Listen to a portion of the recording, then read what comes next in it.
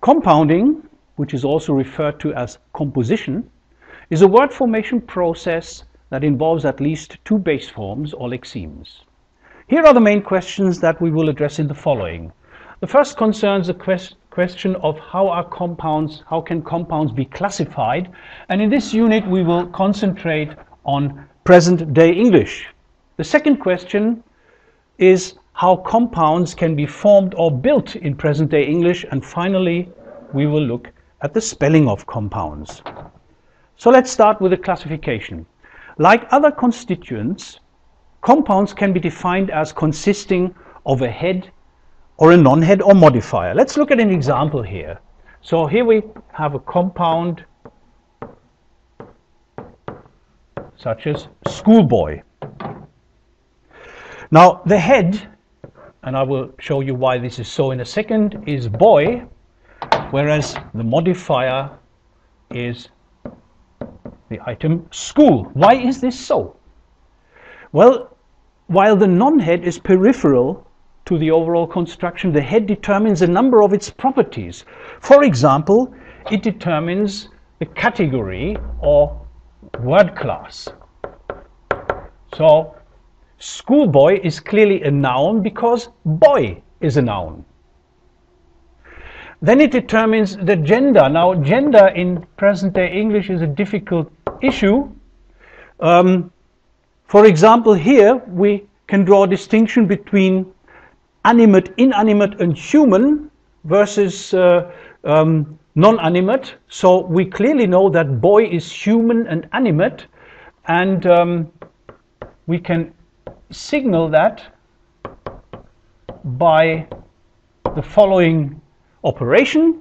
Now, if we insert this item into a relative clause, we have the schoolboy who and not the schoolboy which, because the who um, is related to boy, whereas which would be related to school, so boy must be the head.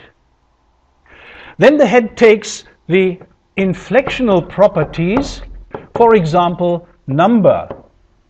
So if you want to turn the compound schoolboy into the plural, you have schoolboys, you attach the suffix for the plural um, at the head and not, you don't add it to the modifier. And finally, in syntax, it is a case. For example, uh, the genitive case here in present day English would be the schoolboy's best friend and not the school's boy best friend. So these are then properties that determine the head. As you can see, the head normally stands on the right hand side. However, there are some exceptional compounds in present day English like this one. I'm sorry for this wonderful picture here, where you have something like mother in law. And here the head is clearly on the left hand side, whereas the modifier is on the right.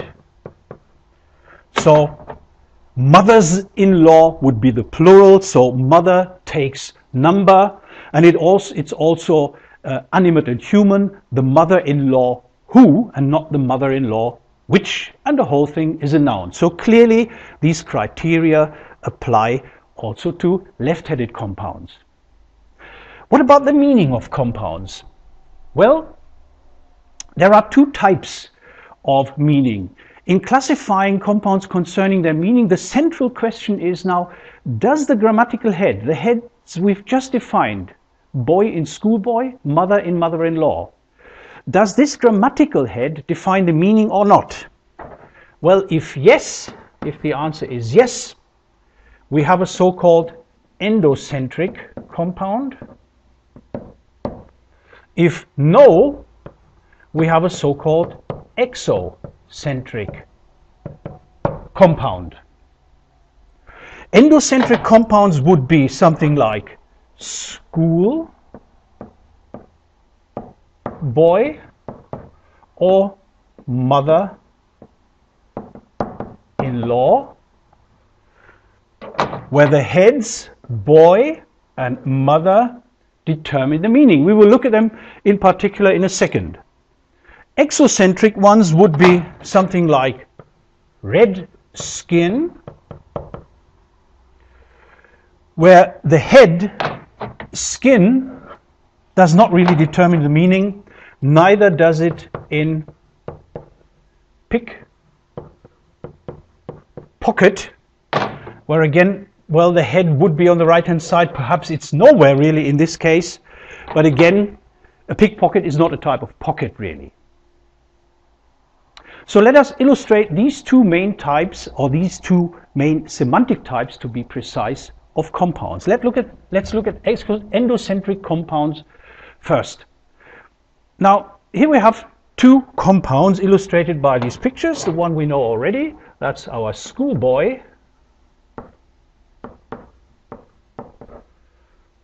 And this here, well, let's put it a little bit over here, is a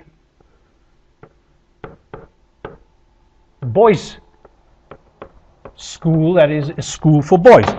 In both cases we have the head on the right hand side. A quick test will show us a schoolboy who, so gender determined by the head, and a boys school which, again gender determined by the head. In both cases the head defines the meaning. Now how can we test that? Well we can construct so-called hyponymy relationships, a term from semantics, where we could say a schoolboy is a hyponym of the superordinate term boy. And a boys' school is a hyponym of the superordinate term school. In other words, a schoolboy is a special type of boy. For example, other types would be something like a ball boy. And a boys' school is a type of school. Other types of school would be something like girls' school. So this is then a typical endocentric compound. An exocentric compound, by contrast, is a compound where the grammatical head does not straightforwardly define the meaning. Rather, the meaning is a hypo hyponym of some unexpressed semantic head. Well, if we look at our two compounds, red skin and pickpocket, let's write them down like this.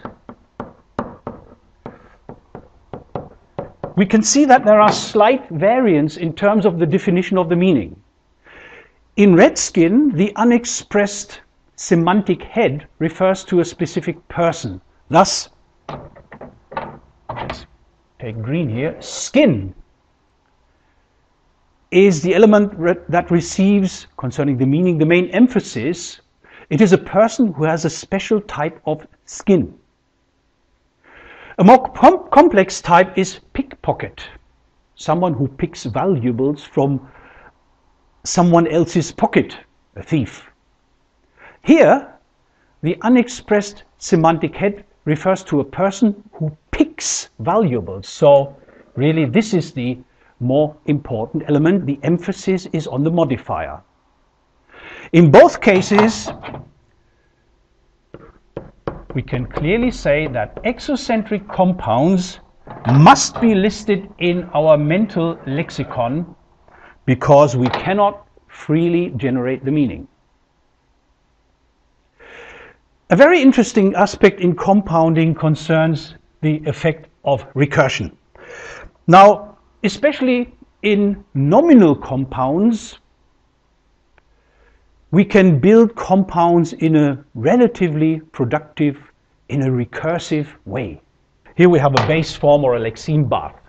Let's take that as an input to a compound? Well, we could add the element room and we'll get a bathroom. This could serve as a new input to the next stage where we add something like towel. Now here we have a bathroom towel. We can go on. If we add to bathroom towel, which is now the input to the next stage, the derivative designer Then we have the compound bathroom towel designer. This is quite interesting. Here we have a derivative design designer. And now even this can function as an input to another process of compounding if we add, well, let's say the element meeting, then we will have a bath room towel designer meeting. You see how productive this process is, in particular if you take nominal base forms and that the rule is one of recursion. Let's finally look at the spelling of compounds. Um, exocentric compounds, you know, are normally written in a solid form as one word, but endocentric compounds can vary. We have, for example, the solid or closed form in words like, well, let's take examples. Housewife. This is a closed form, or to take another example, keyboard. Then we have the hyphenated form where the components are linked by a hyphen. In linguistics, you normally write word class with a hyphen and we saw the example with the left-headed one, mother-in-law.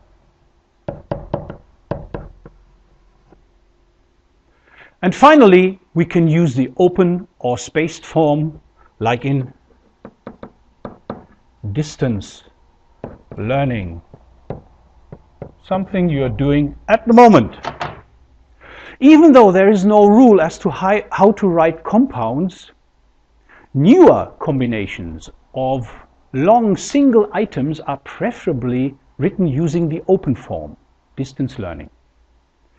Thus, the spelling may indicate their status. Compounds may begin as open forms, and once they become permanent, they're written maybe first of all with a hyphen and then eventually written as closed form.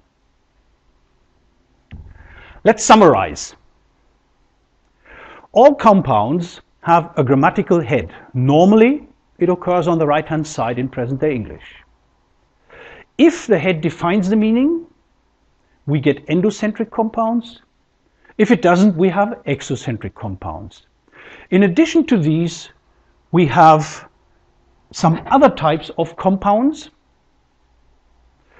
where we could say these are special forms. For example, copulative compounds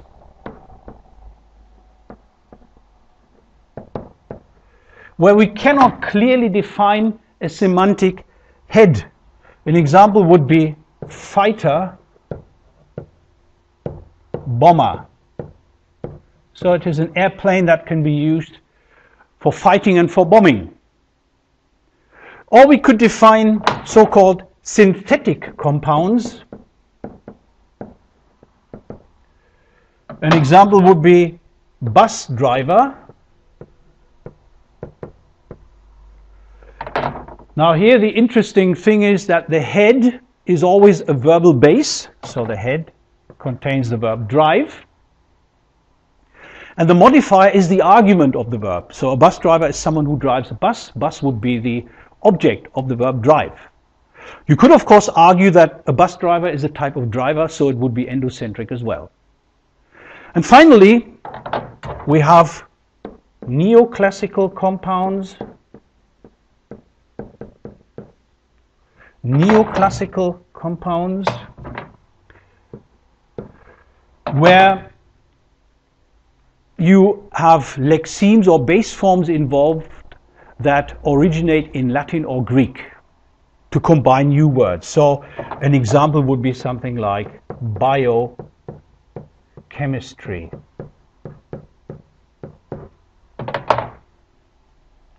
Well, these forms, copulative, synthetic and neoclassical compounds, have not been dealt with in this unit.